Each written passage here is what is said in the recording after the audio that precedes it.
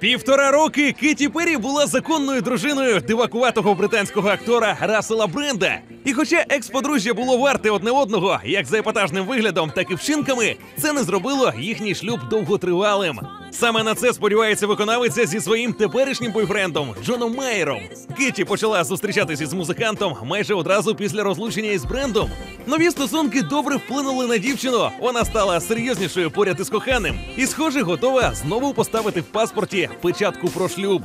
Однак на цей раз співачка планує організувати все як треба і в першу чергу оголосити клятви вірності перед вівтарем. Про це натякають нові фото. Папараці впіймали Кеті Перрі і Джона Майера біля однієї з церков Санта-Барбари. Виконавиця спеціально привезла бойфренда в місто, де народилась, аби там провести йому релігійну прогулянку. Схоже, Джон Майер справді має серйозні наміри щодо Кеті, якщо погодився на пропозицію своєї дівчини сходити до вівтаря, і нехай поки що на екскурсію.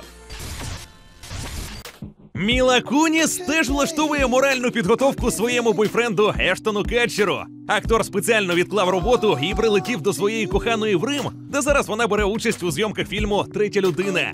У перервах закохані гуляють містом і відвідують його визначні пам'ятки, передусім церкви. Так папараці встигли зробити декілька фото парочки в одному з римо-католицьких костюлів.